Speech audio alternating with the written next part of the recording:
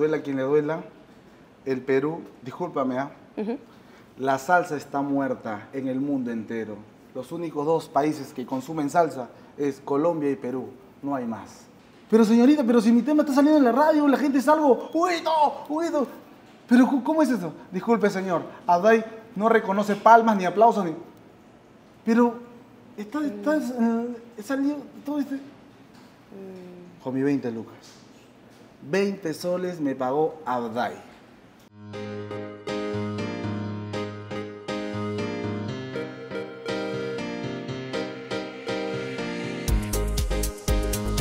Hola amigos, ¿cómo están? Bienvenidos a un nuevo episodio de Te Vi en TikTok, el podcast donde vas a poder conocer a los creadores de contenidos y tus influencers favoritos. El día de hoy nos vestimos de salsa de rumba porque vamos a estar con una super estrella que ustedes lo conocen. Les aseguro que te conocí en las cucardas, te conocí, tú lo sabes.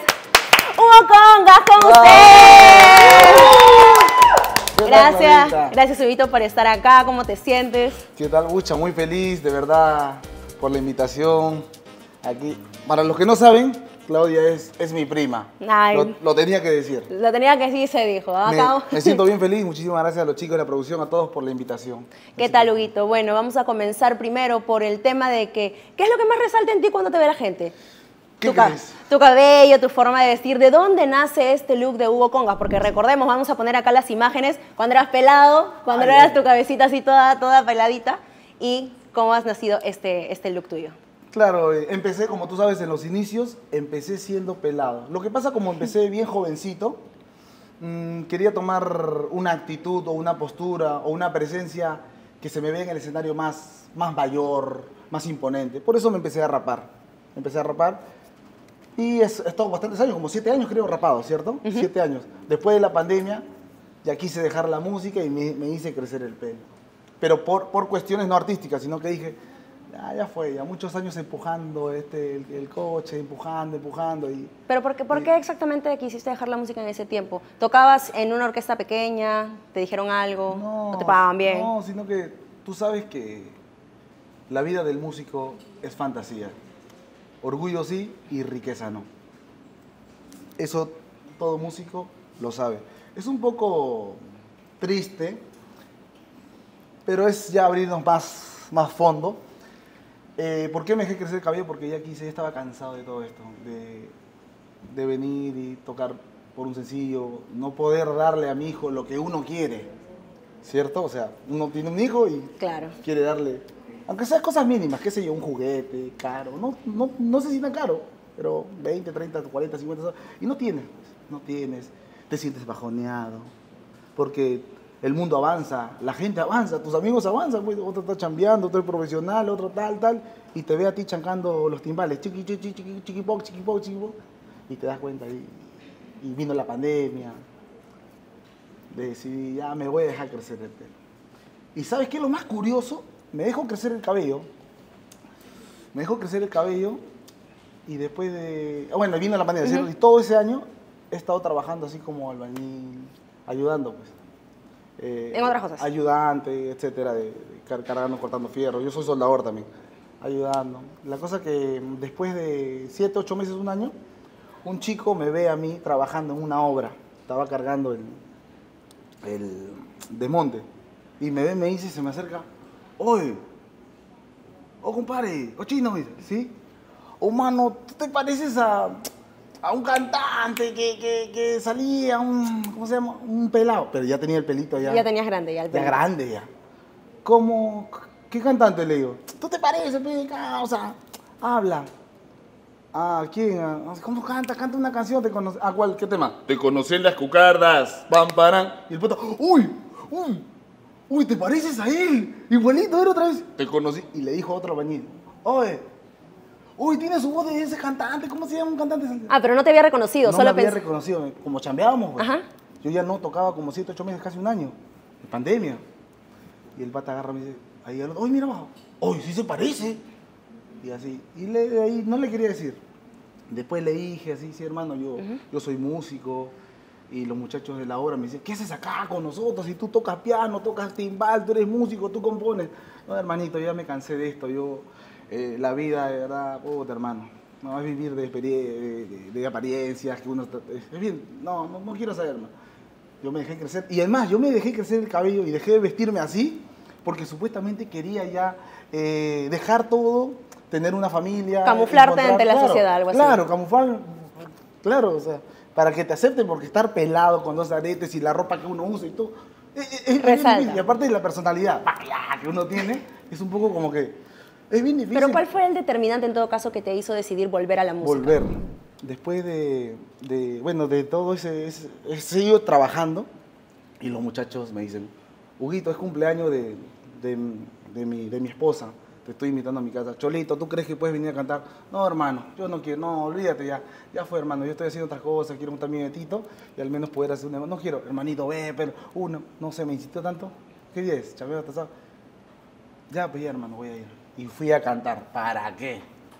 Empecé a cantar, pum, pum, toqué mis timbales, todo. El pata agarró, de lo que nos pagaban en la hora, agarró mi cholito, ¿cuánto va a ser? No, como estaba acostumbrado siempre a, a como dice, a vivir de, de- honores, de, Del mi aplauso. pago es el aplauso o una foto, ese era mi pago. No, hermano, nada, no, no, no, no, así nomás, ya, ya me, me voy nomás. El pata me dio 150 soles por cantar dos horas. Dos horas. Ya era algo. 150 soles. Antes iba con toda mi orquesta y no ganaba ni un sol. Encima ponía de mi plata. Y así poquito a poco. Así estoy chambeando un día miércoles, el pata me dijo, hermano, pata de lobo, "Oh, hermano, ¿tú, ¿tú cantas así? Ah, sí, es cumpleaños de mi, de, de- de mi primo, de mi hermano, cualquier cosa. Y de evento, evento, Y evento, así, evento. Poc, poc, poc, poc, poc, poc, poc, poc, poc, poc, mi pelo creció más. ¿Cómo sabía ahí? Hasta que ya, pues, dije, estuve un mes más y medio chambeando, ploc, otro mi número, mi número, ploc, ploc, ploc. Mis temas ya empezaron otra vez de lo que estaba muerto. Yo, estaba muerto. Tú estás hablando ahorita como dice, como un, un, un muerto, pues. Un zombie. Un, un zombie, un muerto en vida. Yo, yo estaba muerto, muertito, enterrado. Mis temas, tenía sueños, tengo mi disco. Y otra vez empezó ya. tu, tu, tu. Dije, me voy a pintar el pelo por, por última vez. Le voy a dar. Ya. La le, le voy última. a dar la última a la música ya, porque ya, ya estoy cansado de vivir de, de, de, de alegrías y que. ¡Jugungal! ¡Jugungal! Estaba cansado de eso ya. Hasta que Que se dio. se dio. Y obviamente el tema que volvió a sonar fue Te conocí en la... Conocí en la. Todo el mundo te pregunta, Hugo, de que cantes esa canción, que digas, de que fue una vivencia, lo has repetido. Pero lo que nunca has contado es que, ¿qué ver? ¿De qué pasó con la chica de las cucardas? ¿En qué terminó esa Me relación? enamoré de un chonguito. no, mira, ya bueno. Fueron pasando hasta que el tema se volvió a viralizar. Yo ni sabía y mi hermano me dice, Huguito, es un TikTok. Y ese TikTok empezó a subir con mi voz. Te conocí en la cucarda, pam, paran. Y la cosa que fue tu, subiendo, subiendo, su- subiendo. Y vemos después al, al, al rango de cinco meses, la chola chabuca, reventonazo de la chola. Ya. Le da Espérate, espérate, pero no me has contado qué pasó con la chica de las cucardas, no me das la Allá, pregunta. Vamos, no, no, es que quería ir por, por Vamos, pasos. ¿Qué pasó con ella? ¿Te enamoraste? Bueno, podemos todo ahí. ¿Qué pasó con la chica de, la, de las cucardas, cierto? La pregunta es si es verdad, es mentira, me enamoré en el chonguito. Rodrigo, habla bien. ¿Qué pasó? En realidad, sí, sí, sí estuve con una chica de ahí, de, de la avenida Argentina. Cuadra, ¿qué cuadra es? Cuadra 10. Cuadra 10, cuadra 10, para, la- para la mano izquierda. Si vienes de la Plaza Unión, Ya, no es mucha información, Ya. ahí nomás. Bueno, sí me enamoré, me enamoré, eh, tuve una relación, mi madre se puso en ese tiempo en contra, como cualquiera, ¿cierto? Como yo. Es, bien difícil que, que alguien te, te- te acepte, o sea, y que se enteren que, que tu mujer es, es prostituta, es, es- es difícil, es, bien difícil. Bueno, pasó, me enamoré, la cosa es que nos terminamos, pues. Y si tú preguntas qué pasó, volvió a chambear ahí. Está chambeando. ¿Tú la habías sacado de ahí? Claro, vivimos. Por eso en la canción dice, te conocí en las cucardas, pam, parán, te conocí, te conocí, tú lo sabes, pam, parán. Ahora me cuesta creer que conmigo tú Pero, jugaste". por ejemplo, ¿cuántos años ella te estuvo ahí trabajando? ¿Cuánto tiempo, más o menos? Ahí no, pues ellas O bueno, en- por- en- en varios sitios, ya. Si quieres poner en varios sitios, ya. pues, pero más o menos ahí habrá estado un año y medio, así más o menos. No, no le gustó la vida fuera de...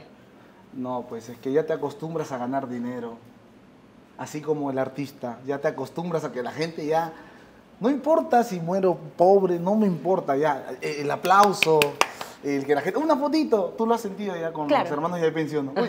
¿quién, iba a pensar, mira, ¿Quién va a pensar que, que, que- que me iban a conocer? Tú- somos testigos, Claro. vamos todos, y nos sorprendimos. Es que ese es la- el poder del TikTok y este poder te ha llevado a grandes sitios, como estabas comentando, ¿no? Con Ernesto Pimentel, con la Chola Chabuca. ¿Cómo, es, ¿Cómo recibiste este llamado? Porque tú sacaste el tema del bebito Fiu Fiu primero en salsa, luego sacaste tu Pitches, Piches, piches, piches, piches, piches. Y ahí Todo recibe- metido. y ahí recibes la llamada. ¿Cómo fue eso?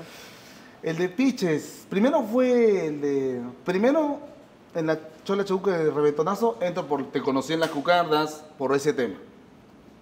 Y ahí me quedé, me invitaron dos, tres veces y he estado como todo un mes, como jugando. Te lo juro que no lo creía. Era un sueño para mí. Después ya he hecho lo de Pitch, eh, perdón, Bebito Fiu Fiu. ah, Bebito Fiu Fiu. Para el papi Vizcarra. Me invitaron al, a JB. No lo podía creer. Habló Hugo Kong. y yo, Hugo no sé o qué está pasando. ¿Qué está pasando? Uy, me están llamando los canales, me están llamando. Uy, uy no lo puedo. Y con mi hermano iba. De ahí, de ahí hice lo de Pitches. También me llamaron otra vez Canal 4. Y empezaban a hacer reportajes. Entonces, sí han visto el de Pitches. ¡Oh! Pero ¿cómo así nace lo de mi hermano? fue la idea de mi hermano. Mira, a mí nunca me gustó hacer covers. Nunca. Yo no estoy en contra como es, esa gente ignorante que dice que los covers no sirven. No, tranquilo. Mucha gente me ha, eh, ¿cómo se dice? Satanizado. Ujú. Diciendo que, no, que Hugo Conga odia los covers. Tranquilo, yo no odio los covers. Porque yo también hago covers. Pero hago mis temas propios. Supongamos que tú me contratas en tu casa o en tu evento. Bacán, yo te voy a cantar mis temas más conocidos. Te conocí en la Cucardas, el apretón y cómo le digo a mi mujer. Los más conocidos. Pero tampoco te voy a aburrir toda la noche con mis temas propios. Porque la gente también pide. Porque la gente te conoce. pide Oscar de León, te pide del Grupo 5, te pide de, de Agua Marina, te pide este, el Gran Combo. Y uno tiene, y, y uno gira en base del público. Si fuera un loco, te canto mis temas. Y no es así. Pero además de que tú también construyes tus temas propios y no le temes a los co- o no te gusta en todo caso mucho hacerlo, Claro. dijiste también que no te animarías a colaborar con otros artistas de Mm. tu género. Tenemos grandes representantes, Daniela Darcourt, tenemos a Yajaira. Entonces, ¿por qué en un momento dijiste que no, no harías cover con ellos? ¿No sientes que te Claro. elevarían un poco la fama? Claro, no, definitivamente. Este, eh, se ha trangi- eh, transgiversado lo que dije también con los de las discotecas y eso de... eh, se ha abierto mucho- mu- muchos portales y muchas, puer- muchas puertas se han abierto. Es que lo que dijiste fue un boom. Hablaste Claro. de un tema que, obviamente, la mafia en la discoteca, sobre los covers, sobre todo eso. Y lo dijiste abiertamente. Claro, es que es la verdad, porque mira, cuando tú te hablo yo en carne propia, yo creo que fuera de que seas la conductora acá, somos primos y más o menos sabemos cómo la familia, ¿Cómo funciona? Eh, las discotecas te cierran totalmente las puertas y lo vuelvo a decir. ¿Y sabes qué es lo peor de todo? Que me he vuelto más famoso y no me contratan la discoteca. Después de lo que dijiste. Después, el chiste era que te contraten y no me contratan todavía. Te pusieron la cruz. Me han puesto la cruz nivel nacional.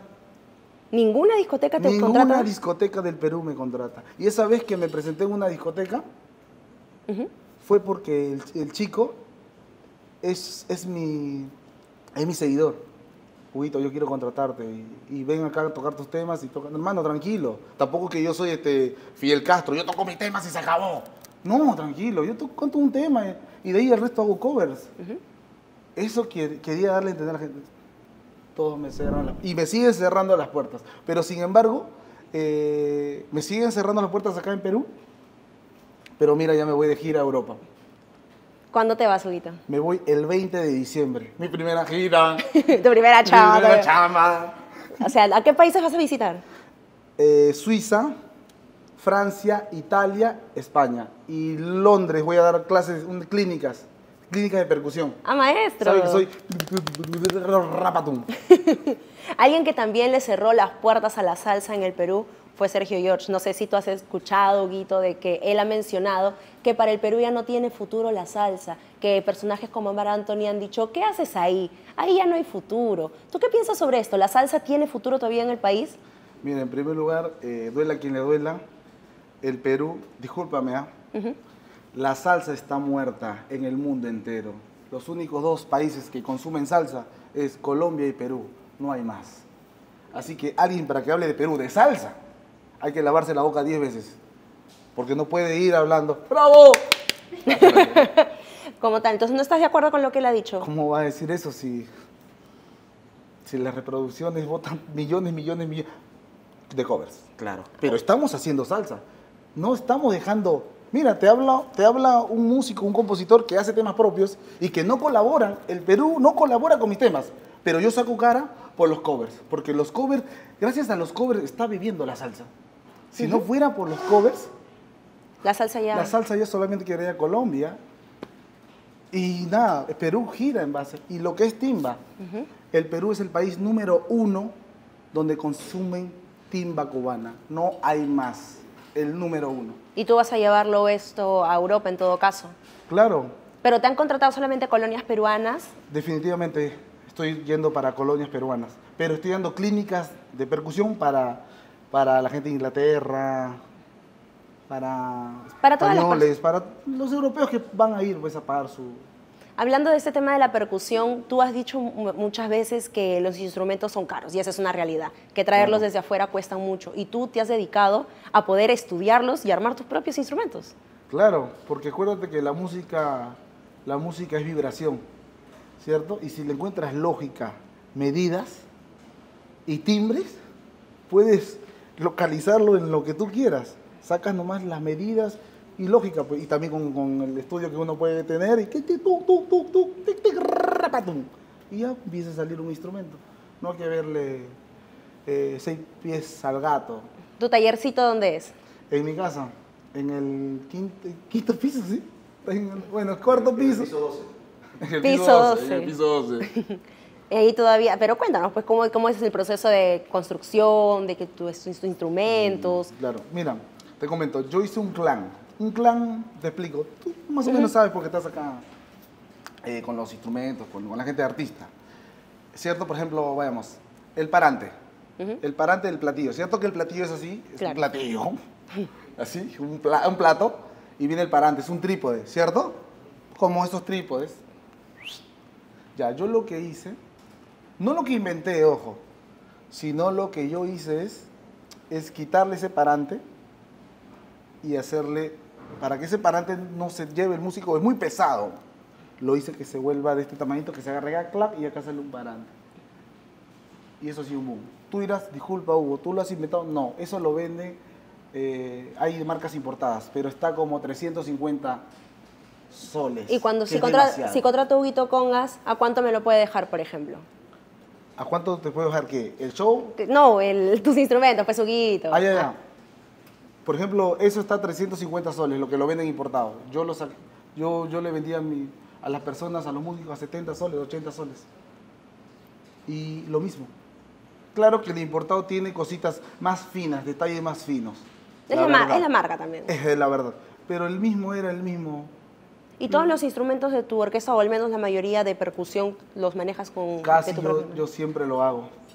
Ya llegué, creo yo, a la, a la excelencia de poder, de no comprar los instrumentos eh, mm, importados, no los compro.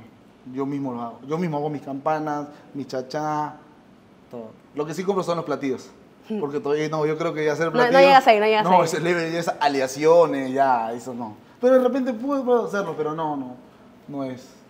Vamos a la historia detrás de tu cabello, Huguito, porque al inicio nos Ay, habíamos pasado, pero no comentaste por qué se te dio la idea de hacerte tantos colores, por ejemplo, de pitches, cuando te pusiste toda la cabeza de boxer. De o sea, boxer, ¿de de dónde sal- Y subiste todo el proceso a tus redes sociales, por eso Subí te hiciste peso, todo. Todito, o sea, te metiste en el personaje. personaje. ¿Cómo fue todo ese proceso de grabación? Bueno, tan sencillo, ¿sabes con cuánto? Mira, ¿y sabes qué es lo más curioso? Que fue una producción de... ¿De cuánto plata? Al toque, así, te- dos, 200, 500 soles. ¿Con 500 soles? Con 500 soles hice una producción que tú estás viendo todo eso. Bizarra, pues. Me pinté el pelo, saqué el concepto. Ya, Bowser tiene su, su, su caparazón, ¿sí? Ajá. Ya, pum, me lo decoloro, pa, pum, me lo hago como él, pues, la, el caparazón, pum, pum. Como tenía mi, mi cabello chacalonero, Ajá.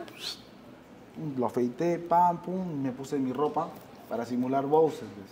Claro. Pum, pum, bu- busqué, buscamos la localización. Era este, una huaca en Jicamarca, ¿cierto? En Jicamarca, las huacas. Como Machu Picchu. Sí, pues porque justamente No. estamos, viendo, estamos viendo las imágenes de todo lo que fue tu videoclip y pusiste al ron, todo el espacio, el piano Mira. y tú cantando ahí con sentimiento. Mira, Claudita, y te comento, lo más, lo más curioso de todo eso es que tú sabes que ese es patrimonio cultural. Claro. Y cualquiera no puede pisar ahí. Pedis- Pediste permiso. Yo fui así como cualquier persona. La cosa que estaba en lo del ministerio, lo del ministerio pues, de, de cultura. Y me estaba metiendo ahí, la cosa que no ve y me dice, ¿sabes qué? Esto, es- esto no puedes pisar ahí, pero igual yo no voy a destruir, voy a hacer solamente tomas. La cosa que, que el señor que estaba ahí con, con los fiscalizadores, Ujú. agarraron, justo el fiscalizador principal me conocía. Por suerte mía. Digo, Maestrito, ¿qué tal? Disculpa, no sé si me conoces. Sí, sí, yo sé quién tú eres, tú eres Hugo Congas. Me conocí en las cucardas.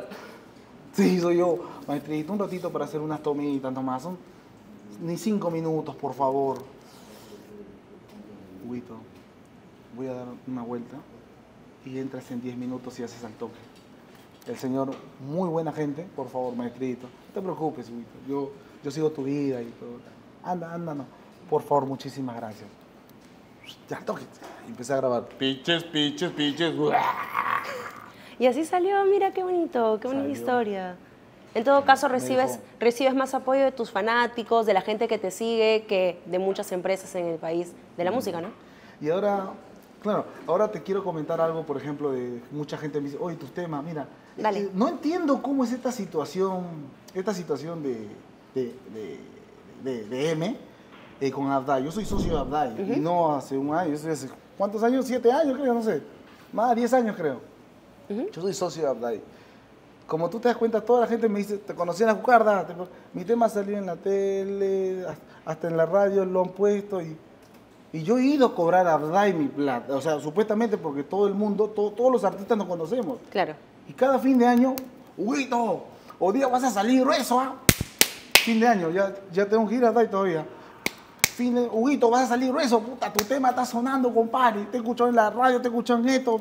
Y tema propio, yo lo he compuesto todo por la legal. Y está en Abdai. Y yo fui el anteaño pasado a Abdai a hacer mi cola. Y todo el mundo, Huguito, bien hermanito, ahora sí la haces. Yo, yo sí, ca- ucha, estaba... Pechón, pechón. Pucha madre, pucha, mini- mínimo te vas a sacar tu 20 lucas. ¿no? No, no, sí. No, con, con 10 luquitas me conformo. No, 10 luquitas también no, no, no, hay- no hay que ser bien. Estoy haciendo mi cola, lo, lo vi también. había varios artistas, José Ward. Estaba haciendo mi cola ahí, esperando la cosa que. La cosa que llegué, llegué, llegué, llegué al esto y dije, sus documentos, por favor, sus documentos. Sí, acá están mis documentos. ¿Sí? ¿Cuál es su obra musical? Ah, la obra más exitosa que tengo es De Conocí en Jugarda, tal tema, tal tema. Y Pero tema, recibiste al final algún tipo de regalías? Claro. Le dije, este, señorita, sí, acá están mis documentos, sí, acá está. Ah, sí, acá hay, acá hay un monto. Acá hay un monto. Ah, ya, muchas gracias. Y me saca el papel, firme por favor, y yo firmo. Sí, acá está. Le vamos a dar en efectivo. Ah, perfecto, mucho mejor. Y me da 20 soles. Y yo agarro. Eh, sí, gracias. Y, eh, señorita, disculpe, eh, me, se han equivocado, me han dado 20 soles. A ver, perdón, disculpa, discul- disculpe, señor. Ajá, no, será 2000 por lo menos. No, son 20 soles. Pero señorita, pero si mi tema está saliendo en la radio, la gente es algo, ¡Huito! ¡Huito! Pero ¿cómo- ¿cómo es eso? Disculpe, señor, Adai no reconoce palmas ni aplausos ni... Pero está, está eh, salió todo este... Con mi 20 lucas. 20 soles me pagó Abdai. Nada más. Nada más. Por eso te... Pero este tipo de, bueno, el tema de discusión de Adai ya va más allá de lo que uno puede hacer, lamentablemente. Pero como tú estabas mencionando, al menos la popularidad de TikTok, de las redes sociales que te ha dado, te va a llevar a Europa y allá te vas a poder hacer otro tipo de nombre. Por, pruebe por promocionarle a la gente, háblale a la gente de Milano, de Francia, de Suiza, que vas a estar allá, dile a todo tu público, directamente en la cámara. Gente, por favor, voy a llevar, me voy a descargar el yape italiano. El yape, el yape europeo me voy a...